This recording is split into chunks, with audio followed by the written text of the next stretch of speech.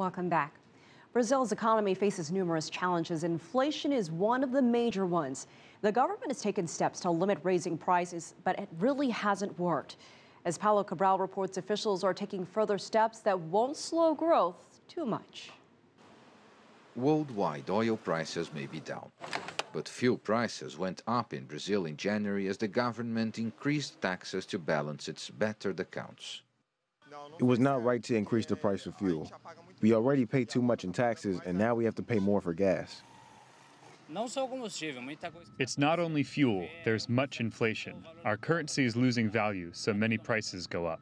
Electricity prices are also on the rise, with record drought depleting reservoirs for the country's hydroelectric plants.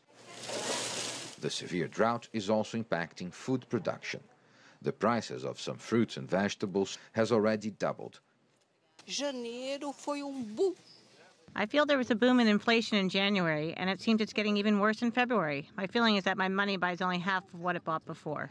Eh, é. I had to cut back on food. My family is not eating as it did a few months ago. Year on year inflation in January in Brazil rose to 7.1%, up from 6.4% in December. In 2014, Brazil's inflation was 6.41%, right below the upper limit of the government's inflation target range, between 2.5% and 6.5%. But the latest market survey forecasts it will top the ceiling for 2015 overall, hitting 6.56%.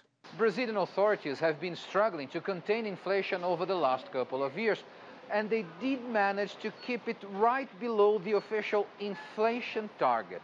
But the problem is that prices are still rising, and economists say the government is running out of options to contain them.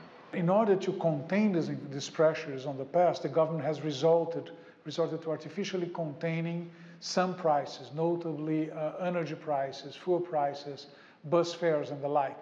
As a result, it has created huge imbalances in the sector, and now they've been forced to allow these prices to go up over a sort of problem. So at the end of the day, we have to rely on monetary policy. So the government will have to keep increasing interest rates as it has been doing since early 2013. The government has promised it will do whatever it takes to fight inflation, which in the past has meant slowing down the economy through higher interest rates and spending cuts. Economists say it won't be easy or painless to strike the right balance. Paulo Cabral, CCTV, São Paulo.